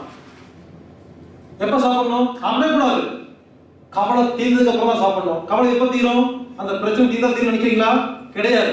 செக் பண்ணி பாருங்க. கவலை வந்துருச்சா? சாப்பிடாது தண்ணி மட்டும் குடிச்சிட்டு உட்காந்துட்டே இருங்க. திடீர்னு என்ன தெரியுமா? நல்லா கவலமான பசிக்கும். பசி எடுக்கும் போது கவலை இருக்காருங்க யாருக்காவது மனதில் கவலை வரக்கூடாதுன்னு நினைச்சீங்கன்னா பசி எடுத்து சாப்பிட்டு பாருங்க. பசி வயிற்றுல இருக்கும் பொழுது ஒரு மனிதனுக்கு கவலை இருக்கவே இருக்காது. எல்லாத்துக்கும் ஏன் கவலை இருக்கு தெரியுமா? யார கேட்டு பாருங்க. கவலை நிறைய இருக்கா? ஏன் தெரியுமா? வயிற்று சும்மா வச்சுக்கிறதே இல்லை. கொட்டிக்கிட்டே இருக்க வேண்டியது. கவலை இருந்துகிட்டே தான் இருக்கும். பசி எடுத்தா மட்டும்தான் கவலை மறக்குங்க அதனால பசி எடுத்து சாப்பிட்டு பாருங்க. வாழ்க்கையில கவலையே இருக்காது. இனிப்பு சர்க்கரை நோயாளிகள் சாப்பிடக்கூடாது அப்படின்னு சொல்றாங்களா? நிறைய பேர் சாப்பிடாம இருக்கீங்களா ஸ்வீட்டு சாப்பிடாம இருங்க. கூடி சீக்கிரம் உங்களுக்கு மிகப்பெரிய நோய் வரும். நமது தெரப்பியில சர்க்கரை நோயாளிகள் இனிப்பு நீர் உள்ளவங்க இனிப்பு சாப்பிட்டா மட்டும்தான் குணமாகும். இல்லைன்னா குணமே ஆகாது. நான் வேணா லெட்டர் ஹெட்ல போட்டோ ஒட்டி என் சீல் வச்சு கையெழுத்து போட்டு கொடுத்துறேன் இனிப்புக்கும் சர்க்கரை நோய்க்கும் சம்பந்தமே கிடையாது. ஒரு காமெடியான விஷயம் நம்பிக்கை இல்லையா? ஒரு சின்ன உதாரணம். இட்லி தோசை பொங்கல் சாப்பிடுறீங்க. இட்லியில் சர்க்கரை இருக்கா இல்லையா? இருக்கு. சர்க்கரைங்கிறது என்ன? ஒரு பொருள். குளுக்கோஸ். இட்லி இனிக்குதா? இல்ல. அப்போ என்ன இருக்கும்? சர்க்கரை இனிக்காது. ஒத்துக்கிறீங்களா? ஓகே. சப்பாத்தி என்ன இருக்கு கார்போஹைட்ரேட் அது குளுக்கோஸ் இருக்கு. ஒத்துக்கிறீங்க. சப்பாத்தி இனிக்குதா? இல்ல. அப்ப என்ன இருக்கும்? சர்க்கரைங்கிறது பொருள். ஸ்வீட்டுங்கிறது சூட்சம பொருள். அது பொருள் இல்ல. அது ஒரு ஒரு சூட்சமம். கண்ணுக்கு தெரியாது. இனிப்பு வாயில ஜீரணமாகும் சர்க்கரை வயிற்றுல ஜீரணமாகும். புரிஞ்சுங்களா? இனிப்பு வயிற்றுல ஜீரணமாகாது சர்க்கரை வாயில ஜீரணமாகாது. சர்க்கரைங்கிறது வேற இனிப்புங்கிறது வேற சுகருங்கிறது வேற ஸ்வீட்டுங்கிறது வேற. இது ரெண்டு டிஃபரன்ஷியேட் பண்ணி பார்த்துட்டா எல்லாமே புரிஞ்சு போயிடும். நான் கேட்கிறேன் இட்லி தோசை பொங்கல் சாப்பிட்டீங்கன்னா அதுல தாங்க இருக்கிறது அதிக குளுக்கோஸ் இருக்கு. உருளைக்கிழங்கு போண்டா இதுல தான் அதிக குளுக்கோஸ் இருக்கு. உருளைக்கிழங்கு போண்டா இனிக்குதா? கணக்கு போட்டு பாருங்க. இட்லி தோசை பொங்கல் உருளைக்கிழங்கு சாப்பிட்டா நிறைய சர்க்கரை இருக்கு இல்லையா? சுகர் ஏறணும் இல்ல ஏறுதா? ஏற மாட்டேங்குது. ஆனா ஒரு மைசூர் பால் ஜிலேபி ஜாங்கிரி சாப்பிட்டா மட்டும் குப்புன சுகர் ஏறுதா? என்ன? அதுக்கு பயந்து நீங்க சாப்பிடாம இருக்கீங்க? ஒரு விஷயம் புரிஞ்சுக்கங்க. இது மட்டும் புரிஞ்சிச்சுன்னா இப்ப இருந்து இனிப்பு சாப்பிடுவீங்க. ஒன்னும் ஆகாது. வாழ்க்கை ஃபுல்லா சாப்பிடலாம். முப்பது வருஷம் சர்க்கரை சாப்பிடாம இனிப்பு சாப்பிடாம இருக்கிற ஒருத்தர் இப்ப ஆரம்பிக்கலாங்க. ஒண்ணு ஆகாது. நல்லா தான் இருப்பீங்க நல்லா கவனமா கேட்டுக்கங்க. இட்லி தோசை பொங்கல் சாப்பிட்டீங்க. அதுல குளுக்கோஸ் நிறைய இருக்கு. அது வயிற்றுல போய் உட்காந்துச்சு இன்னும் ஜீரணம் ஆகல. வயிற்றுல நடக்குது ஒரு மணி நேரம் ஆச்சு. ஏன் வயிறு அப்படியே கிடக்குது. வயிற்றுக்கான சக்தி இனிப்பு. இனிப்பு நீங்க சாப்பிடல. வயிறு வந்தோம் பண்ணும்? வச்சுட்டு பார்த்துருக்கோம் பார்த்துட்டு பண்ணால் ஜீரணம் பண்ணாது. இனிப்பு சாப்பிட்டா மட்டும்தான் வயிறு வேலை செய்யும். அப்புறம் ஒரு மணி நேரம் கழிச்சு ஒரு ஜிலேபி எடுத்து வாயில போடுவீங்க. ஒரு ஜாங்கிரி எடுத்து வாயில போடுவீங்க. இனிப்பு என்னாகும் அந்த இனிப்பை ரசிச்ச உடனே ஸ்வீட் அப்படிங்கிற இனிப்பு நாக்கில் பட்டு டேஸ்ட் பட்ஸ் என்ன பண்ணும்? மண் கரண்டா மாத்தி உடம்புல சப்ளை பண்ணுமா? இனிப்பு சர்க்கரை லெவல அதிகம் பண்ணாது புரிஞ்சுக்கங்க? இனிப்பு நேரடியா போய் சுகர் லெவல பிளட் லெவல் இன்க்ரீஸ் பண்ணாது இனிப்பு சாப்பிட்டா அது மண் கரண்டா மாத்தி வயிற்றை வேலை செய்ய வைக்கும். அவ்வளவுதான் அவர் சப்ஜெக்ட் வயிறு வேலை செய்ய வைக்கணும்னா வயிற்றுக்குள்ள நீங்க உதட்டு பிரிச்சு ஆ, ம் சொல்லு. ம், ம், சாப்பிட்டுட்டீங்களா இந்த தப்பா ஜீரணமான சர்க்கரை உள்ள கிடக்குது இல்லை இனிப்பு சாப்பிட்டோம்னா ஒழுங்கா ஜீரணமாகாத சர்க்கரையை வயிறு மட்டும் பண்ணும்? இட்லி பொங்கல் இருக்கிற சர்க்கரை எடுத்து ரத்தத்துல கலந்து வருது இது உள்ள போய் இன்சுலின் கிடைக்காதனால இது மூத்திரமா போகுது செல்லுக்குள்ள போய் பிரச்சனை பண்ணி உண்டு பண்ணிட்டு இருக்கா? இப்ப சொல்லுங்க சர்க்கரை நோய் காரணம் என்ன? ஒழுங்கா ஜீரணம் ஆகாத சர்க்கரை நோய் காரணமே தவிர இனிப்பு சாப்பிட்டது கிடையாது. இனிப்பு சாப்பிட்டாதான் சர்க்கரை நோய் குணப்படுத்த முடியும். யாரெல்லாம் இனிப்பு சாப்பிடாம இருக்கீங்க தெரியுமா? நிறைய சாப்பிடுவீங்க. இனிப்பே சாப்பிடலையா? ரொம்ப வருஷமா? சாப்பிட்டதெல்லாம் வயிற்றுக்குள்ள போய் மனமாவே போயிட்டு இருக்கு சு- சர்க்கரையா மாறவே இல்லை.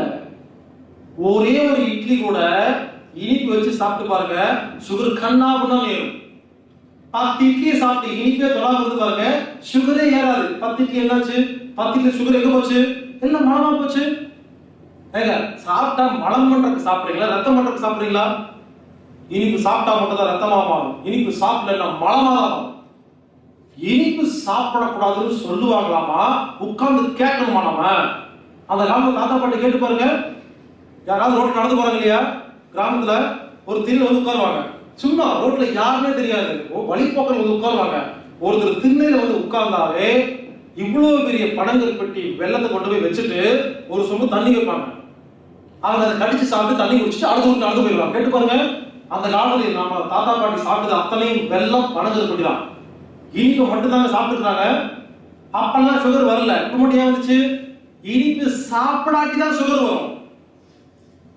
எந்த சயின்டிஸ்டாவது எடுத்து பேச சொல்லுங்க சுகர்னா என்ன? இனிப்புனா என்ன? சர்க்கரைனா என்ன? கிளைகோஜன் ஒன்றும் தெரியாது. ஆனால் சுகர் ஸ்பெஷலிஸ்ட் எல்லாத்துக்கும் மாத்திரை கொடுக்க வேண்டியது. மாத்திரை கொடுத்த மட்டும் தான் தெரியும் ஒன்றும் தெரியாதுங்க. இனிப்புங்கிறது வேற சர்க்கரைங்கிறது வேறங்க. சம்மந்தமே கிடையாதுங்க. அதனால இனிமேல் இனிப்பை தைரியமா சாப்பிடுங்க. ஒன்றும் ஆகாது. பசி எடுக்கும் பொழுது நம்ம சாப்பிடுற சாப்பாட்டுல என்ன சாப்பிடுறீங்க? இனிப்பு சேர்த்து சாப்பிடுங்க. ஒன்றும் ஆகாது. பிரச்சனை இனிப்புல இல்ல. ஜீவனில் தான் இருக்கு.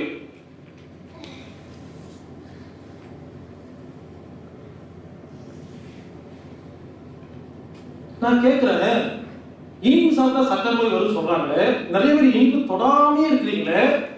இந்த கடவுள் வந்து இந்த பழப்பழம் சப்போட்டா பழம் இதெல்லாம் கண்டுபிடிச்சு கொடுத்துருக்காருல்ல. பாவம் இன்னும் கடவுளுக்கு உலக மக்களுக்கு சுகர் வந்திருக்குன்னு தெரியாம அவர் இன்னும் அனுப்பிச்சிட்டே இருக்காரு. யாருக்கையாவது கடவுளுடைய இமெயில் ஐடி இருந்தா கொடுங்க ஃபேஸ்புக் இருந்தா கொடுங்க நான் அப்லோட் பண்றேன். ஐயா இங்க உலகத்துல சக்கர நோய் வந்திருக்கு இனிமேல் சப்போட்டா பழம் பலாப்பழம் அனுப்பாதீங்கன்னு கடவுள் லூசா? அறிவு இல்லை கடவுளுக்கு? எல்லா பழங்களும் இனிப்பு இருக்குல்ல? அவர் அறிவு இல்லாம சுகர் நோய்க்கு தெரியாம அனுப்பிச்சிருப்பாரு. இறைவன் படைச்ச சப்போட்டா பழத்தையும் பலாப்பழத்தையும் வாழைப்பழத்தையும் சாப்பிட வேண்டாம்னு சொன்னா எவ்வளவு பெரிய முட்டாள்தனம்? அந்த நேரத்துல சுகர் வந்துட்டேன் அந்த காலத்துல அவர் இருந்த காலத்துல சுகர் இருப்பாரு அப்ப அவருக்கு இல்லைங்கிறீங்க அவர் வாழ்ந்த காலத்துல சுகர் இருக்காராமா இப்ப செத்தா போயிட்டாரு. அவர் என்னைக்குமே இருக்காரு. இல்ல இன்னொரு விஷயம். நான் ரொம்ப கோபமா பேசுற மாதிரி தான் இருக்கும். ஆனா மனசுல ஒண்ணு இருக்காங்க ஒரு விஷயம் புரிஞ்சுக்கங்க. மாதவி இல்லைன்னா கண்ணகிக்கு பெருமையே இல்லை. ராவணன் இல்லைன்னா ராமனுக்கு பெருமையே இல்லை. இந்த மாதிரி நிறைய தப்பு நடக்கிறாங்களா எனக்கு பெருமையா இருக்கு. ஏன்னா அது திருத்தம் பார்த்தீங்களா? ஏன்னா வாய் கிடைக்காம போயிடும். கெட்ட விஷயம் நல்ல விஷயம் இருக்கணும். அப்புறம் அது காம்ப்ரமைஸ் ஆகி போயிட்டே இருக்கும். அப்போ நான் பேசும்போது நான் ஒன்றும் கோவப்பட்டு உலகத்திலிருந்து அக்கறையில் அக்கறையில ரொம்பலாம் ஆர்வமா அப்படிலாம் பேச மாட்டேன் ஒரு யதார்த்தமா கேஷுவலா தான் பேசிட்டு இருப்பேன் மனசுக்குள்ள ஒன்றும் இருக்காது. அந்த வார்த்தை மட்டும் தான் அப்படி இருக்கும். ஒரு விஷயம் புரிஞ்சுக்கங்க. உலகத்தை திருத்தவும் முடியாது கெடுக்கவும் முடியாது. அதை புரிஞ்சுக்கிட்டா போதும். நம்மளால முடிஞ்ச வரைக்கும் நம்ம வேலையை செய்யணும். பிராப்தம் இருக்கிறவங்க அட்டன் பண்ண முடியும். எல்லாரும் அட்டன் பண்ணி எல்லாரும் ஈக்குவலா சாப்பிட முடியாது. இனிப்புக்கும் மண்ணுக்கும் ஸ்டமக்குக்கும் ஸ்பிளீனுக்கும் உதட்டுக்கும் கவலைக்கும் சம்பந்தம் இருக்கு. கவலையா இருக்கும்போது இனிப்பு சாப்பிட்டு பாருங்க கவலை ஓடி போயிடும். இப்படி லிங்க் பண்ணி நீங்களே யோசிக்கலாங்க. இது வந்து சின்ன க்ளூ தான். இதுக்கப்புறம் நீங்களே யோசிச்சு பாருங்க எல்லாமே புரியும். யாருக்காவது உதட்டுல புண்ணு வரும் இல்லையா? இந்த இடத்துல எச்சில் புண்ணு உதட்டுல நோய் இல்லை. வயிறு கெட்டு போனா மட்டும்தான் உதட்டுல புண்ணு வரும். மண்ணீரல் கெட்டு போனா மட்டும்தான் உதட்டுல புண்ணு வரும். நீங்க இங்க போய் லோசம் தடவி மருந்து குணமாகாது. வயிற்று சுத்தம் பண்ணி பாருங்க கிளியர் ஆகும் சில பேருக்கு வாயில பேட் ஸ்மெல் அடிக்குதுன்னு சொன்னாங்க இல்லைங்களா? எங்க வாயில கெட்ட வாசம் அடிக்கிறீங்க வாயில எல்லாம் வாசம் இல்ல. கெட்ட வாசம் கிடையவே கிடையாது. வயிற்றுல கெட்டு போன பொருள் தான் வாய் வழியா வரும். இங்கதான் சுத்தம் பண்ணணும். இங்க சுத்தம் பண்ணக்கூடாது. இங்க என்ன பண்ணுவாங்க? அதை இது இவங்க கொப்பிடிச்சு கொப்பிடிச்சு என்ன பண்ண போறீங்க? உள்ளுக்கு வந்துட்டே தான் இருக்கும். இங்க க்ளீன் பண்ணா இங்க க்ளீன் ஆகுங்க அடுத்தது காரம். காரங்கிற சுவை நாக்கில் பட்டா உடம்புக்குள்ள காற்று சக்தி அதிகமாகும். ஏர் எனர்ஜி காற்று சக்தி மூலமா வேலை செய்யற உறுப்பு லங்ஸ் லார்ஜ் இன்டஸ்டைன் நுரையீரல் பெருங்குடல். மூக்கு துக்கம். இதெல்லாம் சம்பந்தப்பட்டது. உங்க மூக்கை பெருசு பண்ணி பாருங்க லங்ஸ் மாதிரி இருக்கும். லங்ஸை குட்டி பண்ணி பாருங்க மூக்கு மாதிரி இருக்கும். அவ்வளவு சம்பந்தம் இருக்கு. யாருக்காவது லங்ஸ்ல ப்ராப்ளம் இருந்தா மூக்குல தெரியும். மூக்குல புள்ளி புள்ளி புள்ளியா கொப்பளம் வரும். மூக்குல தான் பிரச்சனை வரும். மூக்குல பிரச்சனை வந்தா நுரையீரல ப்ராப்ளம் இருக்கும் இங்க சரி பண்ணா இங்க சரியாகும். இங்க சரி பண்ணா அங்க சரியாகும். அதே மாதிரி பெருங்குடல் லார்ஜ் இன்ஸ்டைனுக்கும் இந்த நுரையீரலுக்கும் மூக்கு சம்பந்தம் இருக்கு. யாருக்கெல்லாம் ஆஸ்மா வீசிங் நெஞ்சு சரி ப்ராப்ளம் இருக்கோ மலச்சிக்கல் இருக்கும். கான்ஸ்டிபேஷன் இருக்கும். கான்ஸ்டிபேஷன் இருந்தா நுரையீரல் மூக்கும் பாதிக்கும். இப்படி மாத்தி மாத்தி. யாருக்காவது ஆஸ்மா வீசிங் இருக்குன்னா இந்த இனிமா கொடுக்குறீங்கல்ல மழை மட்டும் ஒழுங்கா போயிடுச்சுன்னா யாருக்கும் ஆஸ்மா வீசிங் இருக்கவே இருக்காது. நீங்க ட்ரீட்மெண்ட் இங்க கூடாது அங்க கொடுத்து இங்க வேலை செய்யும் யாருக்காவது மலச்சிக்கல் இருக்கா? மூச்சு பயிற்சி பண்ணி பாருங்க. நுரையீரல் காத்து நிறைய போச்சுன்னா மழை வெளியே போயிடும். இங்க அடிச்சா அங்க வலிக்குன்னு சொல்றாங்க இல்லைங்களா? அந்த மாதிரி உடம்புல எங்க அடிச்சா எங்க வலிக்குன்னு புரிஞ்சிட்டோம்னா நம்மளும் நாமளா குணப்படுத்திட்டு போயிடலாங்க. துக்கம் தான் இந்த காற்று சக்தியை சாப்பிட்ற அரக்கன். சொல்றாங்க இல்லையா? விஷயத்தை கேள்விப்பட்டு ஒரு செகண்ட் துக்கத்துல மூச்சு பேச்சு இல்லாம நின்று போயிட்டேன்னு. ஏன் மூச்சு பேச்சு இல்லாம நின்று போறீங்க? துக்கமான விஷயம் காத்த பாதிக்கும். லங்ஸ் பாதிக்கும் மலச்சிக்கல் வரும் மூக்கு பாதிக்கும். ஒரு செகண்ட் அப்படி நின்று போயிடும். யாருக்கெல்லாம் ஆஸ்மா வீசிங் இருக்கிறோ ஒரு சில வீட்டில் பாட்டி இருப்பாங்க. தாத்தா இறந்துருவாரு. அந்த துக்கம் தாங்க முடியாம உட்காந்து உட்காந்து நினைச்சு நினைச்சு நினைச்சு என்ன ஆகும்? இவனுக்கு ஆஸ்மா வீசிங் வரும். நீங்க ட்ரீட்மெண்ட் கொடுத்தா ஒன்றும் குணமாகாது. மனசுல அந்த தாத்தா மேல இருக்கிற அந்த பாசத்துல இருக்கிற அந்த துக்கம் தான் காரணம். என்னங்க துக்கத்துக்கும் கவலைக்கும் என்ன வித்தியாசம்? சில பேருக்கு மனசுல யோசிச்சிருப்பீங்க. அது என்ன துக்கம்? அது என்ன கவலை? துக்கம்னா பர்மனன்ட் நிரந்தரமானது. கவலைங்கிறது டெம்பரரி ஷார்ட் பீரியட் ஒருத்தர் ஹாஸ்பிட்டல் இருக்கிறாரு. ஏதோ உடம்பு சரியில்லை. இது கவலை. ஐயோ உடம்பு சரியில்லாம இருக்காரு. செத்தே போயிட்டாரு. துக்கம். இதுக்கு வரமாட்டாரு. முடிஞ்சு போச்சு அவ்வளவுதான். சப்ஜெக்ட் முடிஞ்சு போச்சு. இதை காம்ப்ரமைஸ் காம்ப்ரமைஸ் பண்றதுக்கு உலகத்துல ஒண்ணுமே கிடையாதுன்னு நினைக்கும் பொழுது துக்கங்க. வேற காம்ப்ரமைஸ் பண்றதுக்கு இருந்துச்சுன்னா அதுக்கு பேரு கவலை. ஒரு பெரிய கம்பெனி வச்சிருக்கீங்க. ஒரு நூறு கப்பல் வச்சிருக்கீங்க. ஒரு கப்பல் கவுந்துருச்சு. இது கவலை. ஒரு கப்பல் கவுந்து போச்சு உட்காந்துருக்கீங்க நூறு கப்பல் கவுந்து போச்சு. துக்கம் அவ்வளோ முடிஞ்சு போச்சு. ஸோ துக்கம்ங்கிறது பர்மனன்ட் கவலைங்கிறது டெம்பரரி அவ்வளோதான் இந்த பர்மனண்டான விஷயங்களை பற்றி ஸ்டக் ஆகும் பொழுது நமக்கு இந்த நோயில் சம்மந்தப்பட்ட எல்லா பிரச்சனையும் வந்துடும்.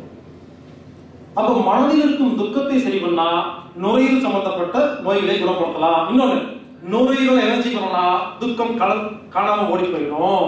அப்ப இந்த மூச்சு பயிற்சிகள் தியானம் எல்லாம் பண்ணி மூக்கு நிறைய சுவாசம் எல்லாம் எடுத்து லங்ஸ் ஸ்ட்ராங் பண்ண என்ன மனதில் இருக்கும் துக்கங்கள் தானா போயிடும். கவலைப்பட மாட்டோம் ஓகே இறந்துட்டாரு அவ்வளவுதானே. அழுட்டு அந்த மனசு என்ன பண்ணும்? சரி பண்ணி துக்கத்துக்கு வெளியே வந்துருங்க. ஒவ்வொரு உணர்ச்சிக்கும் ஒரு பயிற்சி பண்ணா போதும். அது மாதிரி வேலை செய்யும். காலத்துக்கும் காற்றுக்கும் நுரையீரலுக்கும் பெருங்குடலுக்கும் மூக்குக்கும் துக்கத்துக்கும் சம்பந்தம் இருக்கு. ஆஸ்மா வீசிங் பேசுறதுலாம் கேட்டு பாருங்க. காரம் சாப்பிடுறது பிடிக்கும். இந்த காற்றுக்கும் தோடுக்கும் சம்பந்தம் இருக்கு. காரத்துக்கும் காற்றுக்கும் நுரையலுக்கும் பிறடலுக்கும் மூக்குக்கும் துக்கத்துக்கும் தோடுக்கும் ஸ்கின்னுக்கு சம்மந்தம் இருக்கு. இது இங்க பாதிச்ச ஸ்கின் பாதிக்குங்க இந்த ஆஸ்மா வீசிங் பேசுறதுலாம் பாருங்க. அவங்களுக்கு காரம் சாப்பிடுறது பிடிக்கும். யாருக்கெல்லாம் ஆஸ்மா வீசிங் இருக்கோ மலச்சிக்கல் இருக்கோ குழம்பு சாப்பிடும் போது பிடிக்காது. ரசம் சாப்பிடும் போது பிடிக்கும் பாருங்க. டேஸ்டா இருக்கும். சுவையா இன்னும் இந்த ரசம் ஊற்றி சாப்பிடுவீங்க ஏன் தெரியுமா? உங்க உடம்பு காரத்தை கேட்குது அதை மிளகு போட்டுருக்கு ரசத்துல. அதெல்லாம் கேட்குது செக் பண்ணி பாருங்க. அதிகமா பேசணும் பாத்தீங்களா? டீச்சர் சொற்பொழிவாளர்கள் பேச்சாளர்கள் சாமியார்கள் இவங்களுக்கெல்லாம் காரம் ரொம்ப பிடிக்கும். எனக்கு ரசம் அப்படி பிடிக்குங்க. ஏன் அவ்வளவு பேச்சு பேசிட்டு இருக்கேன்? எனக்கு என்ன பிரச்சனை? எனக்கு வார்த்தை மட்டும் தானே எவ்வளவு எவ்வளவு பேச்சு பேசுறேன். அப்ப நுரையில் பாதிக்குமா? அப்ப என்ன ஆகும் எனக்கு காரம் கேட்கும். காரம் உடல் காரம் உடல் கேட்கும். நான் காரணம் சாப்பிட்டா மட்டும் சந்தோஷமா இருப்பேங்க. நீங்க வேற எது வேணாலும் கொடுங்க. எனக்கு ஒண்ணுமே இருக்காது. ஒரு நாள் உள்ள பேசுறதுல நைட் ஒன்பது மணிக்கு எல்லா மீட்டிங் முடிச்ச உடனே ஒரு மிளகா கொடுங்க. நாலு மிளகா கொடுங்க. வாயில் சாப்பிடுவேன். எனக்கு காரணம் தெரியாது. உடம்பு காரம் கேட்குது ஸோ மத்தவங்க ஒரு ஒரு சுவை அதிகமாக சாப்பிடும்போது யாரும் பயப்படாதீங்க. அவங்களுக்கு தேவையை சாப்பிட்றாங்க. உங்களுக்கு தேவையில்லைங்கிறதுக்காக அவங்களுக்கு தேவைன்னு சொல்ல முடியுமா? நீங்க உப்பு அதிகம் போட்டு சாப்பிடுறீங்க ஒருத்தர் காரம் சாப்பிடுவாரு. அவங்கவுங்க நாக்கு அவங்கவுங்க உடம்பு அவங்கவுங்க வேலையை பொறுத்து மாறும். சுவைகள் எல்லாத்துக்கும் ஒரே மாதிரி இருக்காதுன்னு புரிஞ்சுக்கிட்டா போதுங்க அப்ப யாருக்காவது ஆஸ்மா வீசிங் வந்துச்சுன்னா நீங்க செய்ய வேண்டியது என்ன தோல் நோய் ஸ்கின் டிசீஸ் சொரியாசிஸ் எல்லாரும் காரம் சாப்பிட்டா தான் சரியா போகும். ஆனா டாக்டர் சொல்லுவாங்க தோல் நோய் வந்தோடனே காரம் சாப்பிடாதீங்கன்றாங்க காரம் சாப்பிடாம இருந்தா நோய் நல்லா பெருசாகும். காரம் சாப்பிடாம ஒரு தோல் நோயை குணப்படுத்த முடியவே முடியாது. ஆஸ்மா வீசிங்கை குணப்படுத்த முடியவே முடியாதுங்க. நான் என்ன சொல்ல வரேன்னு புரிஞ்சுங்களா? அவரு நுரையீரலுக்கு அதிக வேலை கொடுத்துடலாம் நான் என்ன பண்ணுவேன்? எனக்கு ஊறுகாய் வச்சு வச்சு சாப்பிடுவேன். ரசம் நிறைய சாப்பிடுவேன். பக்கத்துல வேடிக்கை பார்த்துட்டே இருப்பாங்களா? இவன் என்ன எப்ப பார்த்தாலும் காரமா சாப்பிடறான்னு யோசிப்பாங்களா? எனக்கு காரம் தூக்குலாக தான் பிடிக்கும். நான் காரம் சாப்பிட யாரும் சாப்பிட முடியாது. நீங்களும் கண்டு தண்ணி வரும். எனக்கு நல்லா இருக்கும். ஆனா ஒரு நாலு நாள் நான் லீவ் போட்டு எந்த வேலையும் இந்த ஸ்பீச் கொடுக்கல. நாலு நாள் ஒரு யோகா சென்டருக்கு போயிட்டேன் தியானம் பண்ணிட்டு இருக்கிறேன். அன்னைக்கு எனக்கு காரம் கொடுத்தா பிடிக்காதுங்க. அப்ப நானும் காலத்துக்கு வந்துடுவேன் அவ்வளவுதான் ஒரு டெம்பரவரியா காரம் மேல போயிட்டு கீழே வந்துடும் அப்ப நான் காரம் சாப்பிட்றது எல்லாம் வேடிக்கை பார்த்துட்டே இருக்காங்களா? ஒருவேளை என்ன ஒரு நாள் எனக்கு ஸ்கின் வந்துச்சு வச்சுங்களேன் எல்லாரும் சொல்லுவாங்க நீ காரம் அதிகமா சாப்பிட்டு அதனால தான் வந்துருச்சு காரம் அதிகமாக சாப்பிட்டனால தான் லேட்டாக வந்திருக்கு. காரம் சாப்பிடாம இருந்தால் முதல்ல வந்துருக்கு எனக்கு. புரிஞ்சுங்களா? ஸோ தப்பாக பூர்த்திக்கு என்ன பண்ணுறோம் அதுக்கப்புறம் காரத்தை ஸ்டாப் பண்ணிடுவோம். இப்ப என்ன ஆகும் இன்னும் நல்லா அக்ரெசிவ் ஆஸ்மா வீசிங் வரவங்க தயவு செய்து ரசம் நிறைய சாப்பிடுங்க மிளகு நிறைய சேர்த்துக்கீங்க. அதெல்லாம் காணாம போயிடும். உங்க நாக்கு கேக்குதா காரம்? சாப்பிடுங்க யாரு வேண்டாம் அடுத்தது அதுக்காக காலையில் நாலு மணிக்கு டெய்லி ஆஸ்மா வரும் போதெல்லாம் எடுத்து ஊருகா ஊருகா நக்கி நக்கி கடைசியில பலரும் அப்படிதாங்க எனக்கு. ஃபோன் பண்ணி கேட்பாங்க சார் நீங்க சொன்ன மாதிரி ஆஸ்மா வரும் போதெல்லாம் ஊருகா சாப்பிட்டேன் சார். நாக்கு வந்து குடிச்சாருன்னா காரம் கேட்குது அப்படிங்கிறதுக்காக அங்கேயும் சாப்பிடுறாங்க. அது ஊறுகாய் செஞ்சுக்காதுங்க ஊறுகாய் பிராண்டட் நல்ல குவாலிட்டியாக வாங்குங்க இந்த ஊறுகாய் வினிகர் அது இதெல்லாம் போட்டிருப்பாங்க. லோக்கல் பிராண்ட் எல்லாம் வாங்கினீங்கன்னா அதுவே நோய் வந்துடும் நீங்களே தயார் வீட்டில் தயார் நான் எதுக்குமே நான் விற்க மாட்டேன். உடனே கேள்வி சார் அப்ப நீங்களே வந்து சப்ளை பண்ணுங்க எது சொன்னாலும் பரவாயில்ல. யார் எந்த பில்டிங் மூலம் சரி. எல்லாரும் அப்ப நீங்களே கொடுத்துருங்க. நான் எவ்வளவு சப்ளை பண்ணுறது அப்புறம் அவங்க சோப்பு சீப்பு கண்ணாடி எல்லா உலகத்துக்கு எல்லா ஊரும் சப்ளை பண்ணுவாங்க கசப்பு துவர்ப்பு சாப்பிட்டா என்ன ஆகும்? பாருங்க கசப்பு துவர்ப்பு ரெண்டு சுவை. ஆனா ஒரு கரண்ட் கசப்பு துவர்ப்பு சாப்பிட்டா உடம்பில் நெருப்பு சக்தி அதிகமாகும். நெருப்பு சக்தி மூலமா ஹீட் எனர்ஜி மூலமா வேலை செய்ய உறுப்பினர் தெரியுங்களா? இருதயம். இருதயத்தின் மேலுரை ஹார்ட் பெரிகார்டியம் உடல் ஸ்மால் இன்டஸ்டைன் உடல் வெப்ப கட்டுப்பாட்டு உறுப்பு. ட்ரிபிள் வார்மர் ட்ரிபிள் வார்மங்கிறது நம்ம உடம்புல இருக்கிற ஒரு உறுப்போட பேருங்க இது பொதுவாக யாருக்குமே தெரியாது அதை பத்தி சொல்லிடுறேன். ட்ரிபிள் வார்மர்னா என்னன்னா அப்படி ஒரு உறுப்பே கிடையாது. அது ஒரு சிஸ்டம் நமது உடம்புல பிராணன் அபானன் சமானன் மூணு வாய் இருக்கும். மொத்தம் பத்து வாய்க்கள் முக்கியமான சொல்றாங்க. இந்த ட்ரிபிள் வார்மங்கிறது மூணு வாய் சம்பந்தப்பட்டது. மேல பிராணன் கீழே அபானன் நடுவுல ரெண்டையும் சமப்படுத்துற சமானன் இருக்கும் உடம்புல. உடம்பு மூணு கம்பார்ட்மெண்டா பிரிச்சு வேற வேற டெம்பரேச்சர்ல வேற வேற சக்தி உள்ள காத்து இருக்கும். நம்ம உடம்புல சூச்சமத்துல இந்த மூணு காத்து எது தெரியுமா? ஒண்ணு ஹீட்டா இருக்கும் குளிர்ச்சியா இருக்கும் மீடியமா இருக்கும். எதுக்கு? திடீர்னு உங்க காலை கொண்டு போய் ஐஸ் வாட்டர்ல வச்சிட்டீங்க. என்ன ஆகும் கால் குடுகுடுன்னு ஆயிருமா? இந்த காலை சூடு பண்ணுமில்ல அப்ப சூடான காத்து சப்ளை ஆகுது. கையை கொண்டு தீர வைக்கிறீங்க. கை சூடாயிருமா அப்ப குளிர்ச்சியான சப்ளை குளிர்ச்சி பண்ணும் இப்படி நமது உடம்பில் இருக்கிற வெப்பநிலையை சமநிலைப்படுத்துறதுக்காக நமது உடம்பில் மூணு விதமான வாயுக்கள் இருக்கு. இதுக்கு பேரு ட்ரிபிள் வார்மர்னு பேர். உடல் வெப்ப கட்டுப்பாட்டு உறுப்பு. மூ வெப்ப கட்டுப்பாட்டு உறுப்புன்னு சொல்லுவாங்க. இது ஒவ்வொரு சிகிச்சையில வேற வேற பேர் சொல்லுவாங்க. இதெல்லாம் இந்த நெருப்பு சம்பந்தப்பட்ட ஆர்கன் இதுக்கான வெளியுறுப்பு நாக்கு. இதுக்கான உணர்ச்சி சந்தோஷம். திடீர்னு உங்களை கூப்பிட யாராவது ஒருத்தர் வாங்க மேடையில் நின்று மைக் பிடிச்சி பேசி என்ன நீங்க திடீர்னு பேசுறீங்க எனக்கு என்ன பேசுறது நெஞ்சில் படப்படுது அப்படி சொல்றீங்களா? இப்போ என்ன பண்ணாங்க உங்களை? மைக் பிடிச்சி பேசுங்கன்னு சொல்ல நெஞ்சு படப்படுத்துமா? ஏன் படப்படுச்சு நெஞ்சு? இது ஏன் வீக்கா போச்சு? புரிஞ்சுக்கங்க. சந்தோஷம் வந்துச்சுன்னா அளவுக்கு அதிகமான சந்தோஷம் வந்துச்சுன்னா உடம்புல இருக்கிற நெருப்பு சக்தியை சாப்பிட்டு போயிருங்க. அப்ப என்ன ஆகும்? நெஞ்சு அப்படியே இறுதியும் துடிக்கும். ஏன்? உடம்புல நெருப்பு சக்தி காலியாச்சுன்னு சில பேர் பாருங்க சந்தோஷம் செத்து போயிருவாங்க பாத்தீங்களா அளவுக்கு சந்தோஷம் வந்து ஹார்ட் அட்டாக் செத்து போயிருவாங்க சந்தோஷம் கூட அளவா தான் இருக்கும்.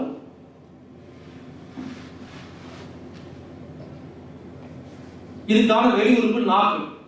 நாக்கு எப்படி இருக்கோ அதே மாதிரி தான் ஹார்ட் இருக்கும். ஹார்ட் அப்படிங்கிற அந்த லவ் சிம்பிள் போடுறோம் இல்லையா? இறுதியும் அதே மாதிரி தான் இருக்கும் நாக்கு அதே மாதிரி தான் இருக்கும். நாக்குல யாருக்காவது ஒரு மாதிரி கஷ்டமா இருக்கும். என்னமோ பிரச்சனை? நாக்கு நாக்கு டிஸ்டர்பன்ஸ் இருந்தா என்ன தெரியுமா? இருதயம் வீக்கா இருக்குன்னு அர்த்தம். உடம்புல நெருப்பு சக்தி கம்மியா இருக்குன்னு அர்த்தம். சம் ப்ராப்ளம் ட்ரிபிள் வா ப்ராப்ளம் இருக்கும் பிபி பேஷண்ட் அத்தனை பேருக்கு நாக்கு ஒரு மாதிரி தடிப்பா இருக்கும். எப்ப பார்த்தா நாக்கு நினைச்சிட்டே இருப்பாங்க. அது என்னமோ பண்ணும் நாக்கு. என்ன இருக்கும்? நாக்குல ஒரு ப்ராப்ளம்னாவே உடம்புல நெருப்பு ப்ராப்ளம் இருக்கும் கசப்பு தூர்ப்பு சாப்பிட்டா தான் இதெல்லாம் ஒழுங்கா வேலை செய்யும். யாருமே கசப்பு துவர்ப்பு சாப்பிட்றதே இல்லை. யாருக்காவது தில் இருக்கா? நெஞ்சில மஞ்சா சோறு இருக்கா? தில்லு இருக்கா? தைரியம் இருக்கா? இப்படி தான் அடிக்கிறோம். இங்க தில்லுக்கு தில்லுக்கு எது இப்படி வந்துச்சு. தைரியம் தன்னம்பிக்கை தில்லு இப்படி தான் சொல்றோம். ஏன் இருதயம் ஸ்ட்ராங்கா இருந்தா தைரியமா இருக்குன்னு அர்த்தம். யாருமே தைரியமா இல்லை. தெரியுமா? நல்ல காரியம் பண்றதுக்கு தைரியம் இல்ல. திருட வந்து மிரட்டினா "ஏய், எல்லாம் எடுத்துட்டு போ எல்லாம் எடுத்துட்டு போ. என்ன உயிர் விட்டா போதும். ஏன்? பயம். தைரியம் இல்லை. என்னாச்சு? கசம் துருப்பு யாருமே சாப்பிடுறது இல்ல யார் கசம் துருப்பு நிறைய சாப்பிடுறீங்களோ தில்லு தைரியம் தன்னம்பிக்கை கண்ணாபனா வருங்க. உங்களை பார்த்து மிரண்டு ஓடி போவாங்க. யாருமே கசப்பு துருப்பு சாப்பிடுறதே இல்ல. சில பாட்டி இருப்பாங்க பாத்தீங்களா? பெத்தரவாக்கு போட்டுருப்போம் பாத்தீங்களா? கிராமத்துல. பெத்தரவாக்கு போட்டு போட்டு அது நிறைய கசப்பு தோறுப்பு இருக்கும். சாப்பிட்டு சாப்பிட்டு சாப்பிட்டு என்ன பண்ணுறீங்களா இறுதியை ஸ்ட்ராங் பண்ணி வச்சிருப்பாங்க. இந்த வெத்தலமாக்கு பாக்கு போய் இதை பேசி ஜெயிச்சுட்டு வரமாங்களா ஒண்ணுமே முடியாது. ஓடி துரத்தி விட்டுரும்.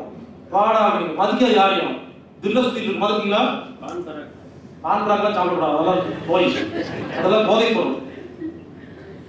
வெத்தலமாக்கு நல்லது சொல்லுங்க. அடுத்து வரேன்.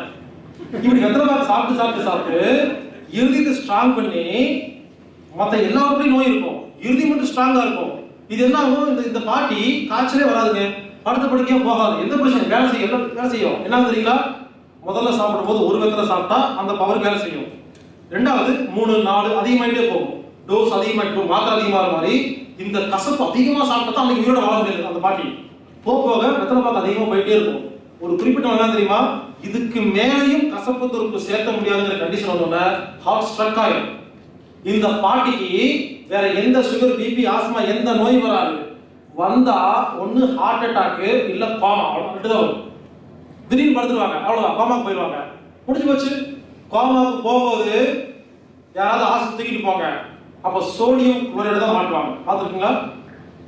பிபிக்கு யாரெல்லாம் உப்பு சாப்பிடாம இருந்து ரொம்ப வருஷமா கோமாக்கு போயிட்டாங்களோ ஆஸ்பத்திரி போய் பாருங்க. நான் வந்து சும்மா சொல்லிங்க. ஒவ்வொன்றையும் உட்காந்து ஆராய்ச்சி பண்ணியிருக்கேன் ஆஸ்பத்திரி உட்கார்ந்துருக்கேன் நான். சோடியம் குளோரைடு தான் மாட்டுவாங்க என்ன